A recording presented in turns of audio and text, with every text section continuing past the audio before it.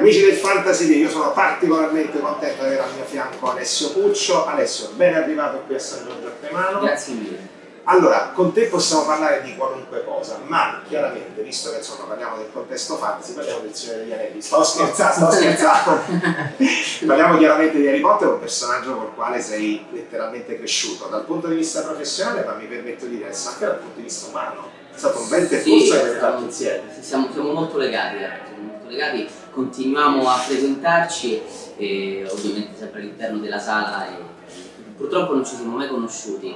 E, chissà prima o poi, insomma, io faccio sempre questi appelli ogni tanto, no? e prima o, poi, prima o poi ci conosceremo, però è così, il rapporto molto, molto, molto stretto. Eh. Alessio, io sono del parere che un doppiatore è un attore che lavora due volte, perché deve lavorare in sala di doppiaggio, ma contemporaneamente deve lavorare anche per l'attore che parla in lingua originale. Ti chiedo quanto distanti siamo da questa affermazione? Allora, siamo, mh, mm, sì, posso considerare un attore, siamo degli Sì, lo sei, voglia, e, però ovviamente dobbiamo, eh, non dobbiamo andare oltre quello che fa eh, l'attore stesso, certo. ecco, quindi non siamo degli imitatori perché comunque anche noi mettiamo le nostre emozioni, eh, tutto, tutto, quello che, che, ci passa in quel momento, però comunque dobbiamo sempre rimanere abbastanza fedeli e legati a quello che fa certo. l'attore ovviamente.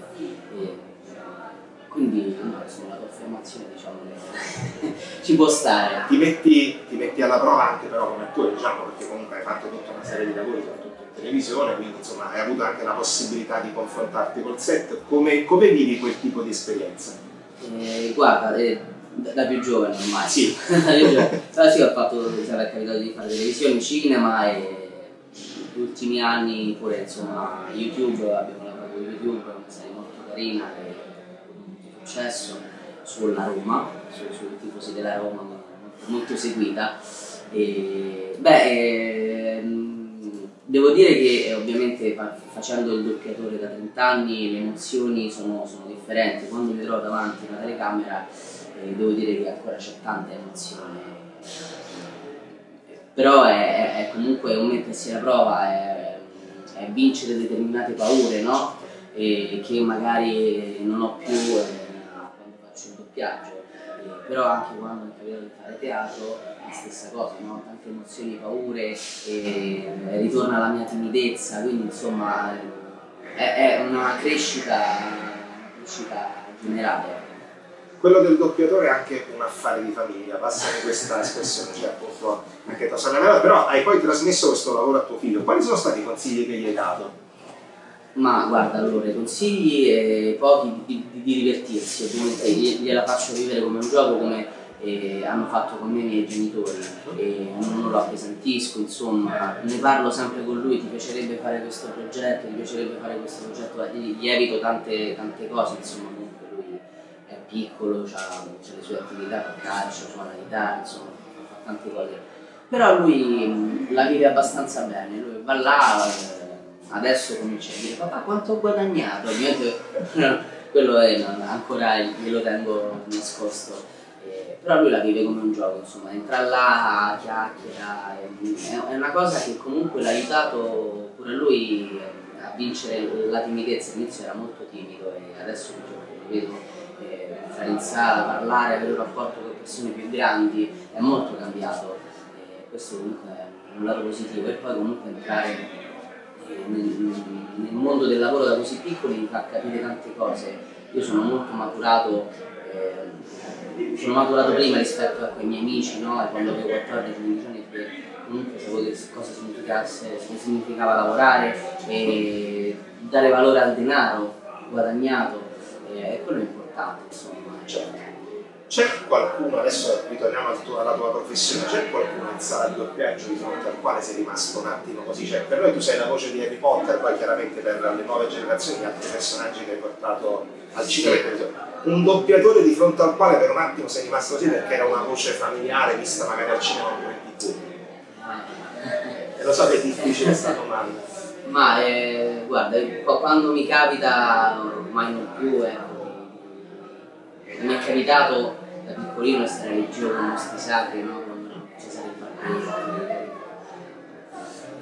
Penso anche a Gianni Musi ad esempio. Gianni Musi, Gianni era un nonno, insomma, quando, quando finivamo di, di incidere prendeva tutto il braccio, prendeva il mare, una persona meravigliosa.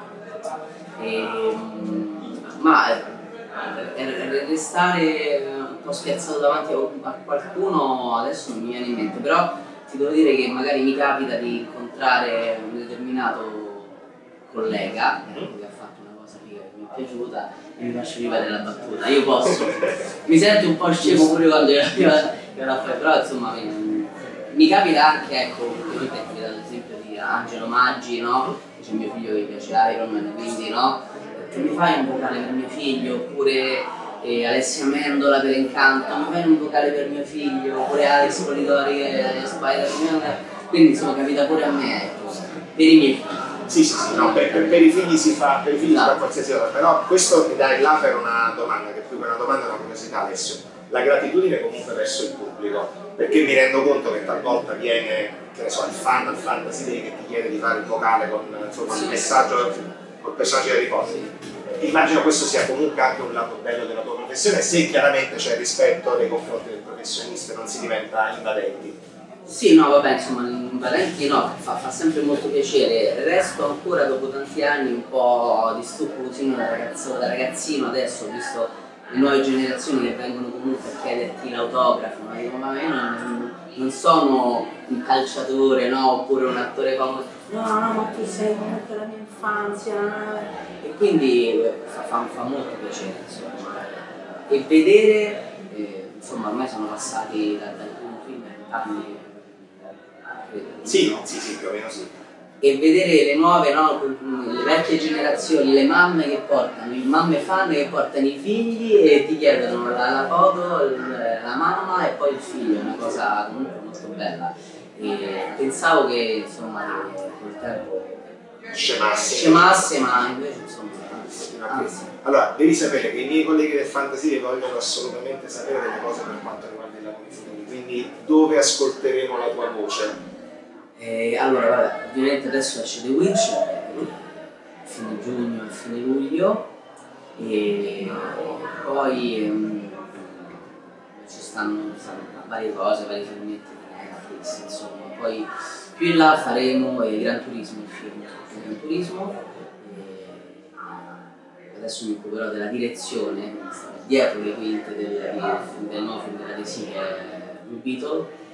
E, e niente, insomma, questi sono i progetti adesso, poi si vedrà. Allora adesso devo fare una richiesta per tutti i fan del fantasy di quelli che sono qui a San Giorgio a e quelli che ci seguono magari sui social, se Harry Potter può fare un saluto in camera. Allora, un saluto a tutti i ragazzi, a tutti gli organizzatori del Fantasy Day di San Giorgio a Cremano, da Alessio Puccio, da Harry come volete voi. Wingardium Leviosa!